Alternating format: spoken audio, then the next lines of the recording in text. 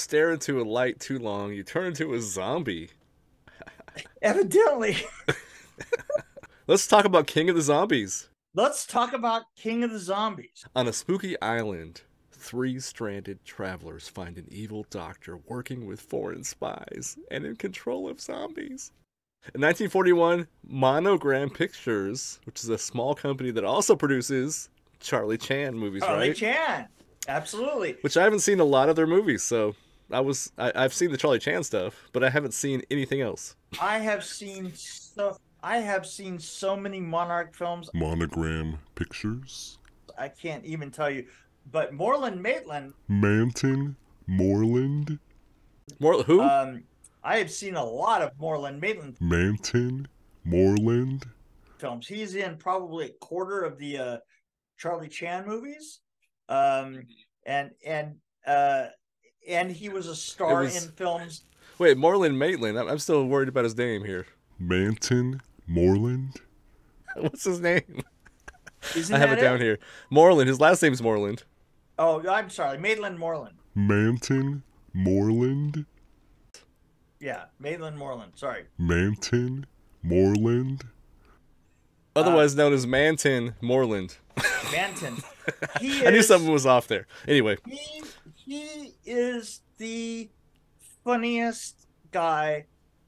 I, I, I mean, I, I well, not just that. showed- He's not just What? funny. He's not just funny. He's actually a great actor he who's a given a great load of for a script, and he made it Oh. excellent somehow. How did he do Oh that? my god! The thing is, is this is what this guy has done in so many movies. Every you just can't. I can't even begin to give you an idea of how many films this guy has been in. And uh, and he's he's black and he has this this great buggy eye look.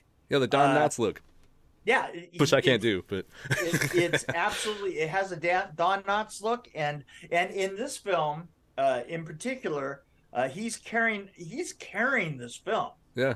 Which amazes Right. me because if you if you listen to the script, like if I read this script, I'd be like, okay, so they want anybody who's not white to sound like a total idiot. Right. It's racial stereotypes, but somehow he becomes Somehow- the best in the whole movie. He's the best one. All the white actors the look like That's what. And, and, and the thing is, is standing right next to it is uh, is a woman. I, I can't.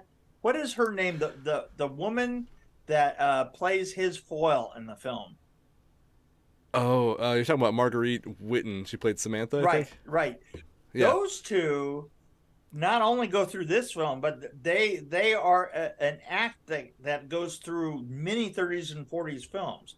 Well, I looked up her resume on IMDb, and there's only four films listed. I'm like, she has to be in more movies than Oh, that. And then it just suddenly ends at 1942 or something. It's just like, eh, I, that's I, it. I think that she was because I, I, I just remember her on, on a uh, it- she kind of plays his foil. Um, he was part of a comedy routine, and I can't remember the name of it, but uh, it he he does a routine that that you've seen often if you look at the Charlie Chan films. Uh, he does a uh, it's it's where he and another uh, ben Carter. Ben Carter, he and Ben Carter don't ever finish their sentence, and it's hilarious. they don't ever It- finish it- the sentence, and I just finished your sentence. That's what's weird about that. Yeah, I, you did right. That's exactly. o- only they do. When they do it, it's funny.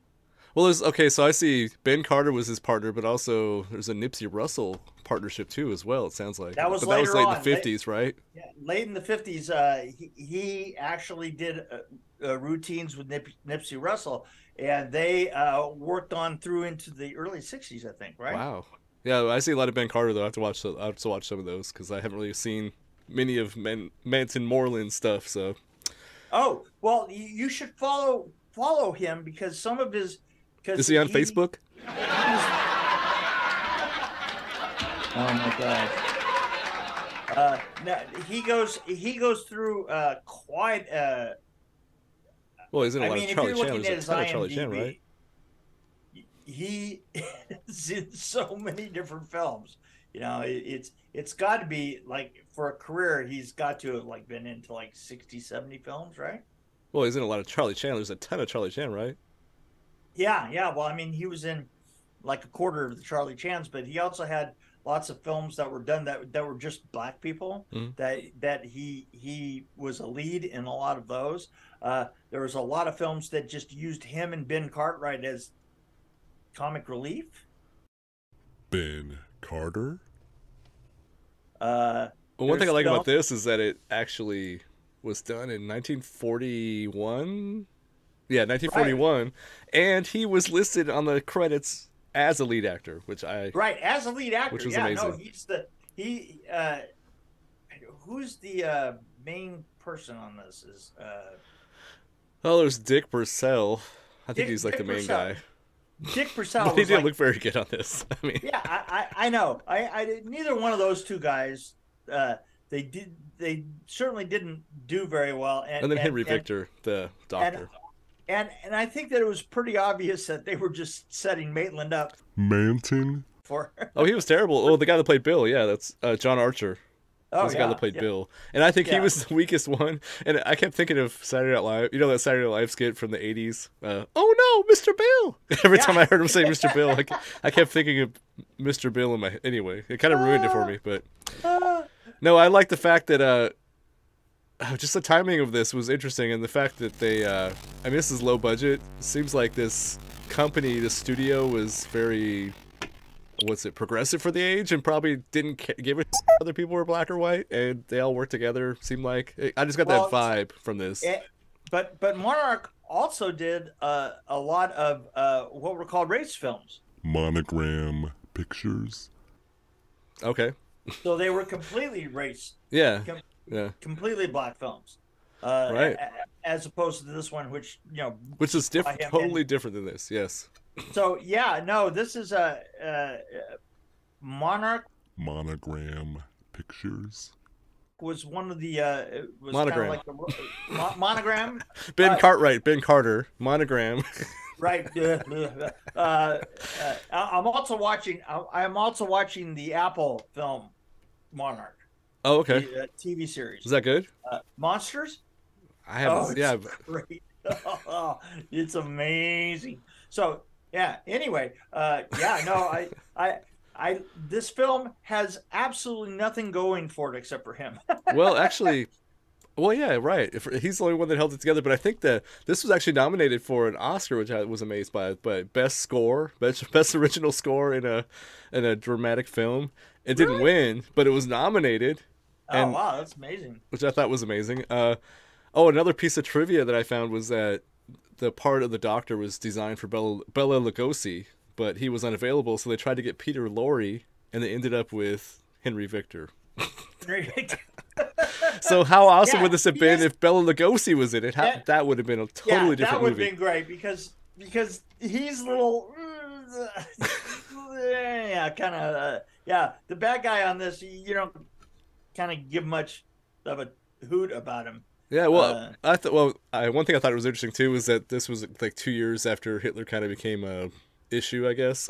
Yeah, Uh, The- but you notice the doctor, there was like a German thing going on. He had a German accent. He kept talking exactly. about, uh, he was paranoid about people being in the Secret Service. Uh, he was doing all these creepy experiments on people. He was fascinated with religious artifacts. What else was he doing? He was, uh, they kept referencing, like, without referencing it, Germany. And Yeah, this actually came out I right know, before like- Pearl Harbor. was- yeah, this was like Hitler light. yeah. Well, this is before Pearl Harbor, so I found it interesting that it was kind of on their minds when they filmed this. Like, obviously. Yeah. Well, it, you, you have to remember that there was a Jewish, there was a strong Jewish contingent in in Hollywood, and uh, and the people in Hollywood knew what was going on. Right. Well, I Yeah, think they uh, wasn't it Hitler. What was that movie? The Beast of Berlin, um, 1939. I think that was like a movie that a German producer tried to make, and I guess Oh, it yeah. got squashed by the German censorship Right, board or whatever. Right. Well, but I think that was affected. I think they knew about that, obviously, because they might have been Jewish themselves, and they probably were aware of it. what was wh- wh- when did the film come out with Charlie Chaplin uh, balancing the Earth on his? Uh, Oh, you're talking. About... I think that wasn't that after the war. That was like later. Um, was that after? The, was that after the war? Modern Times? Was it? Modern Oh. times? Was that Modern Times? No, the dictator. Duh. The dictator, right? what, what year was that? That's obvious, isn't it? Uh, oh, hold on. Uh, it wasn't 2012. that was the one with Sacha Baron Cohen. No, it did. Right, I don't think so. Yeah. Uh, the Great Dictator, 1940. Okay, so that So was a year before this came out. Yeah, so so so it's like these weren't secrets. So everybody No. was aware of Hitler. I didn't know how aware people of people were of Hitler back in the 40 in early 1940 or 41. But Well, I I mean, yeah, yeah, yeah, yeah. uh, We won't get we, we won't get into that no, but it's just it was just kind of it was just kind of in- in there subtly. Yeah, it was subtly, but not so It was- subtly. It, was it was definitely it was it was definitely Hitler was writing subtext. Yes. yeah, for sure. I I yeah, and and here's another thing. I have to tell you the truth. When this film came up, I thought, "Oh my god, I have to watch that again." I have watched. I I am such a fan of um of uh, the uh, monogram pictures and uh, and so much of uh, of the secondary films, uh, B B B films that that came out back then. Um, And you have to get when you watch these though, you have to get over the fact that there were a lot of really bad racial stereotypes back then, especially with Charlie Charlie Chan. abs- well, you I know mean, what? somebody can watch it and get totally offended if they don't realize that it's a different time, obviously, and people think differently now. But the movies but are still good movies. But not only that, Charlie Chan was trying to do something really specific. Charlie Chan was trying to take the curse off of Right. uh, there. There was a the Fu Manchu Yes, Uh, yes. Fu Manchu, yep. which which which kind of uh, cast uh, people that the Chinese people that became our allies, right? Put them in a very bad light. Uh, you know, they were as racist as you can possibly imagine.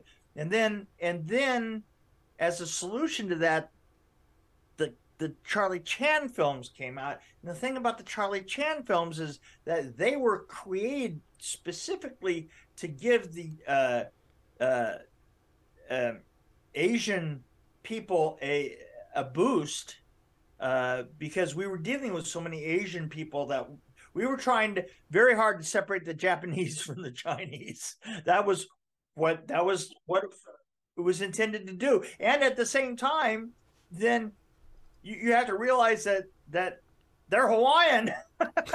Wasn't this like wasn't it Charlie Chan though? Wasn't that like a radio show originally like in the 30s? Wasn't it?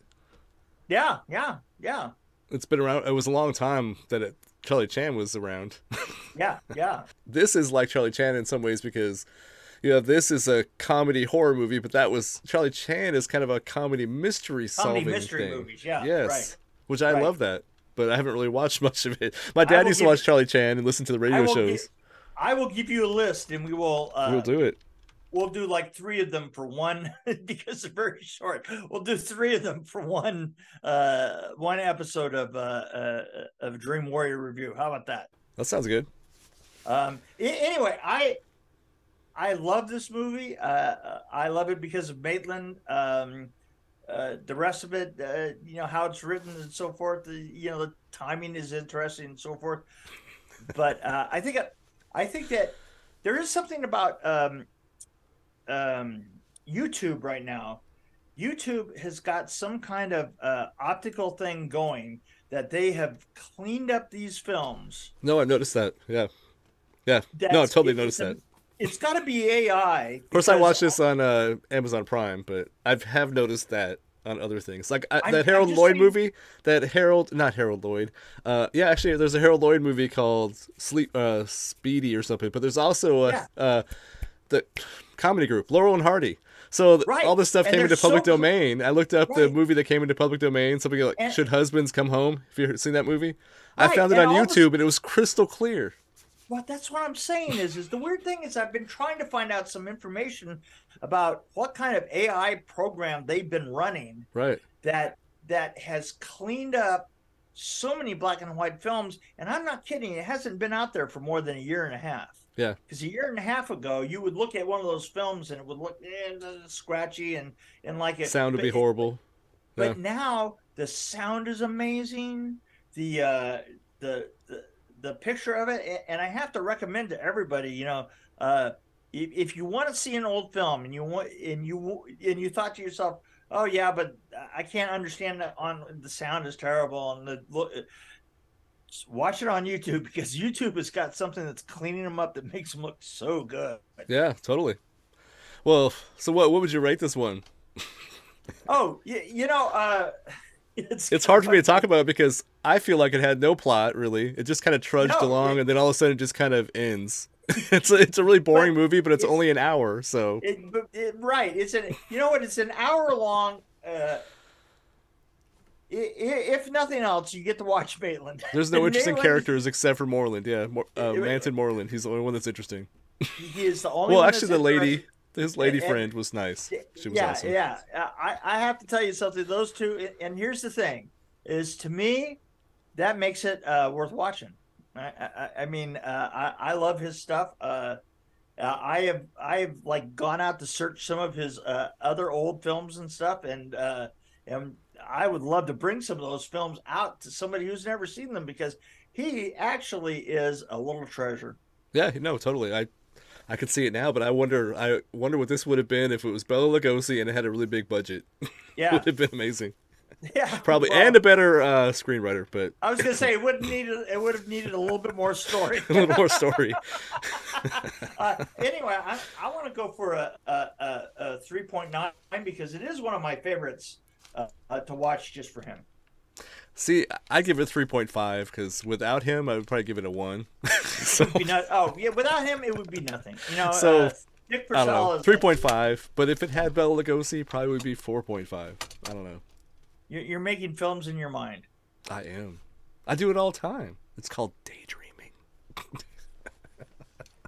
He was a day. Isn't that Day Tripper? yeah, someone. One way ticket. Yeah. I know my Beatles. Anyway.